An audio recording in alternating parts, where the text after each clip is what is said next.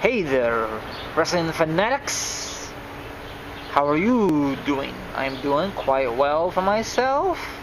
Anywho, this news broke yesterday, I'm assuming, okay? What I'm talking about is Ryback, okay? But before I go into more detail on the matter, he was part of the original Nexus, okay? His name at the time was Skip Sheffield. You know, I know it's not the best uh, wrestling name, but take it or leave it, you know? And um, he did okay in that group. Then down the road, he got injured. They took him off TV. You know, he, he had to do rehab, blah, blah, blah, blah, blah. And before you know it, he had a new gimmick, new name, and the rest is history. So when Ryback debuted, I think it was Payback, I forget what year. I think it was in Chicago. My brother and myself attended the event, and I said to myself, who the hell is this guy? And I think we, we finally figured out it was Scott Sheffield back in the day of the Nexus. Really, the repackaged dude. So he dominated everyone on the main roster, sort of. And he faced, on that pay per view, freaking jobbers. I paid my hard earned money to see this guy to face um, um, jobbers. I'm assuming these jobbers are just from the area. They got easy paychecks, so or I don't know how they paid them. So and then they will keep doing it um, every time. I think Raw SmackDown, and eventually he faced some uh, superstars on Raw about damn time. But I think his very first superstars was CM Punk in the Hell in Cell that year. Of course, uh, Ryback lost because Brad Maddox cost uh, Ryback the victory, but I think it was all part of the thing anyway. Um, and I guess CM Punk got injured from that match. Or actually, no. Sometime, because they supposed to have a TLC match on Raw for the belt, but he got injured, so they postponed it for the following Monday, you know? I think. I'm not really too sure. So, um, CM Punk is still mad about that. I will be too if someone injured me, you know, one of my coworkers or whatever. But I don't work for WWE at all, so I wish I did. And all that good stuff, you know.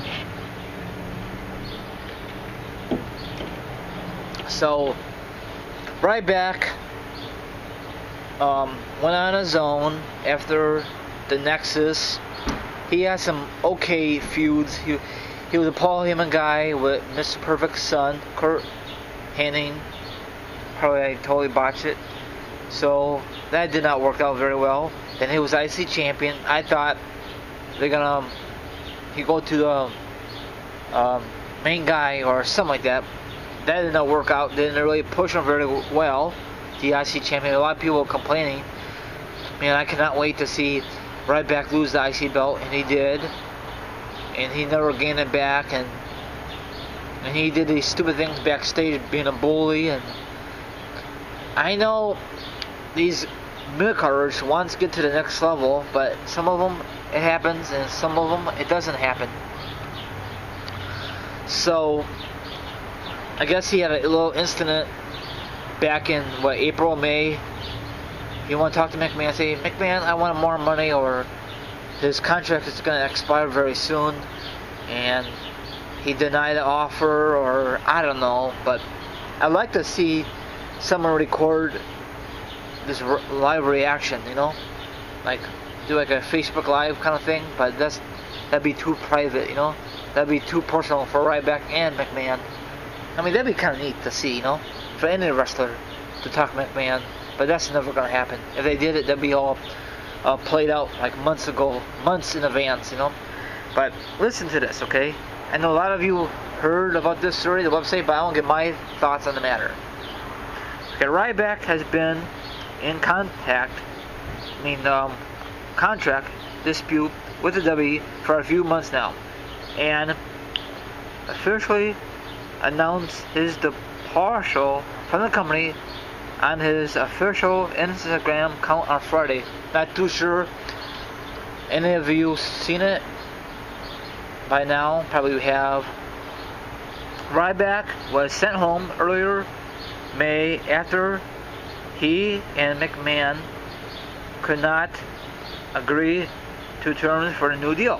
Ryback reported wanted a higher downside guaranteed than the company was offering and where were there were some other stipulations that he wanted. Hmm. Other stipulations. What would that be? Like become the World Heavyweight Champion? This is way before the um, brand extension. Get a major push.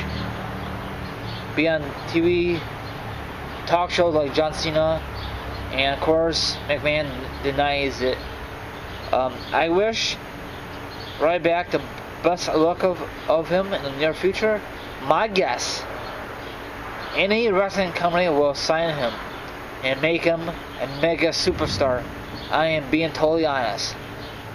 This is my guess, okay? I don't know if this is going to happen or not. TNA, okay? TNA could always use former W superstars. Uh, independence, New Japan, um, um, other companies out there. I, I can't think of it off my head. So any company out there will sign him probably for more money and probably all the demands that Ryback wants. Or on the other hand, probably none of the companies wants to sign his ass, and he would just sit at home and play video games or or um, make videos or whatever he's got to do, you know.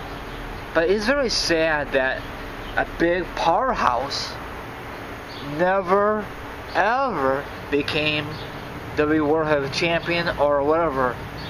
The match I did not care for was was at WrestleMania 28 between him and um, uh, Mark Henry. That match was dog shit. I did not like it. It was awful, and people was calling him Ryback. I'm sorry, Goldberg. Goldberg when it came out this um, new wrestling gear.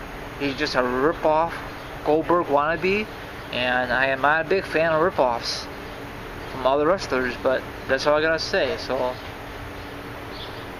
so I don't know what else to say, you know. So, um,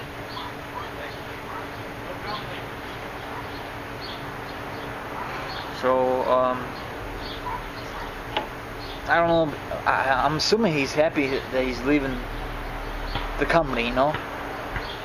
I'm assuming he left on bad terms, so I don't know.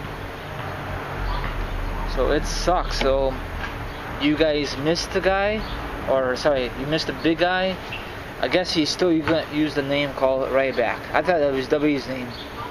So let me know if he's allowed to use it out of the W. If you like this video, give this video a thumbs up. Don't forget to subscribe and all my social media accounts are down below. Have a good night, and I'll talk to you on the flip side. The sound, sorry, the sun is going down. I love these, make these kind of videos. Thanks for watching.